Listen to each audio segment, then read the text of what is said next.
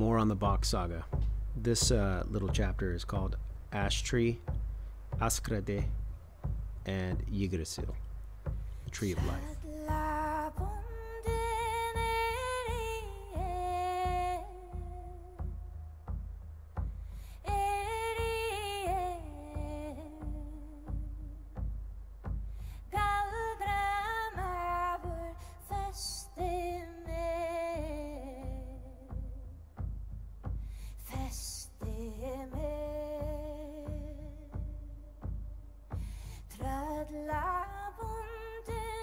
According to the heathen people, although the spirit flies on the wings of one's last breath, the soul remains in the body. The friends and family present at the ceremony would lift the naked body of the Guman, Guman Ella, onto a bier and carry it to the Sibo Berget next to the Atastupa, where the funeral pyre would have been prepared. Then placed her body on the pyre and set it alight to reduce her body to ashes. All the people in the boats anchored outside Gumbostrand witnessed the smoke rising into the air. The ashes containing her soul were then placed into an oxbong, which is a sack made of the testicles of an ox or a bull, and taken to the west of Udenma, where the tall family tree reached into the sky. This was an ash tree that was still growing in the area of Snappertuna until recently. At the base of the ash tree, a small hole was dug to bury the ashes of the Gumanella. Where the ashes came into contact with the soil, it mixed with the moisture of the roots of the ash tree and would absorb that soul, contained it in the ashes. And so the soul of the Gumanella entered the salve, or sap, of the family tree. The salve went into the trunk of the ash tree, up the branches, and all the ways into the twigs and leaves. When Solon Straler, the sun's rays, shine through the leaves of an ash tree in the morning, the life leaves the leaves by evaporating into the atmosphere. Okay, so we see here the oldest story, maybe one of the oldest stories ever told, is in it also knew and referenced how important family was, and they had a family tree. Each family had a sacred tree, and they would all be buried, their ashes buried at the roots of it. And they believed their soul would move on as it went up through the tree into the leaves and then eventually evaporated into the cosmos to go back into spirit. Centrifugal force also plays a key role in the in this transition.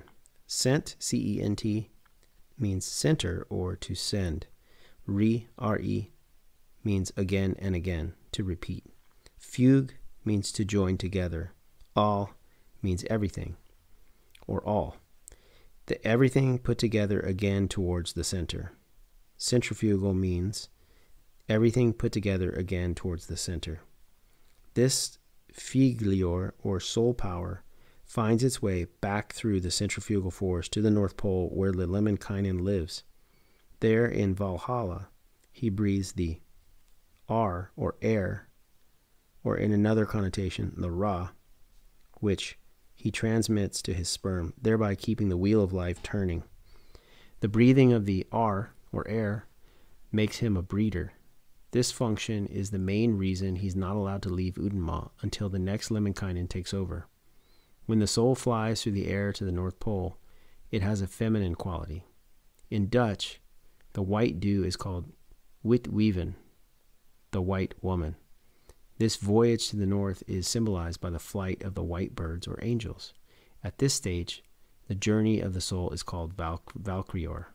Okay, this, you know, birds have always always been associated with high and mighty with God because they have this they fly so high. Man wants to fly, but also because they have this, you know, never-ending vision because they're they're so far up there. So this is not any different than all these other these other um, spiritual systems where your soul is uh, often taken or represented by the flight of a bird. It's all over ancient Egypt and Mesopotamia. Um, it's also in the Toltec, some Native American tradition. Okay, Yggdrasil, the tree of life, in the middle of paradise.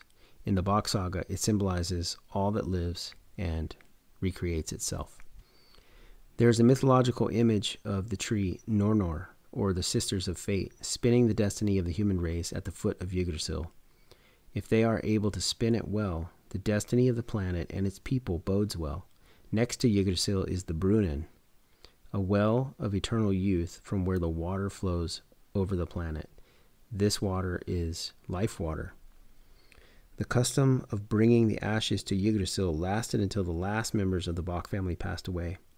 Ior's mother, Rhea, her brother Raphael, and sister Rachel were the last whose ashes were buried by the ash tree in Snappertuna.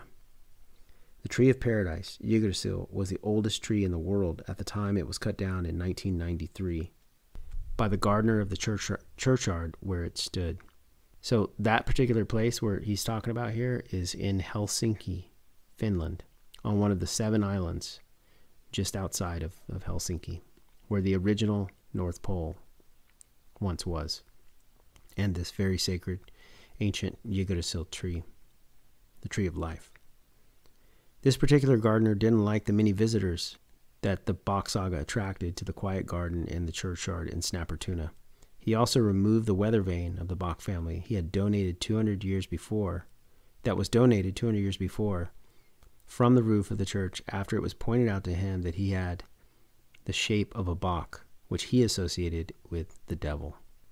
A cutting of the original Yggdrasil was made from a rootstock and preserved by one of Ior's friends and is growing well at the time of this writing. Some other ash trees, presumably offsprings of the original one, grow nearby and there is where Ior's ashes were buried. The ashes of all other people on the planet in paradise time were buried under their oak, own family trees, which were varieties of the. I'll just point out from experience that in the Native American tradition, certain trees are very sacred. Excuse me, very sacred. Um, and one of those is the ash tree. Um, certain uh, spiritual items or regalia, they have to be made of certain trees, and there the ash tree is essential to um, to the chanupa, which is a sacred pipe, which is the when put together with the bowl and the stem, it represents the unity of earth and spirit, of God and man, of male and female, and it has to be made from an ash tree.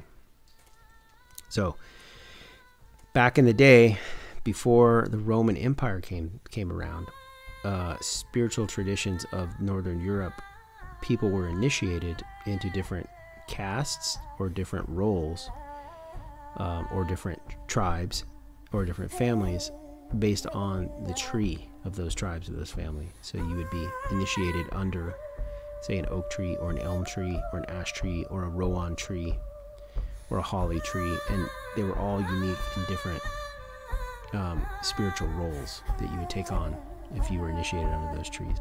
So there you go, Yggdrasil, the tree of life, in the original Garden of Eden, which is Asgard Uden, the Guard of Eden.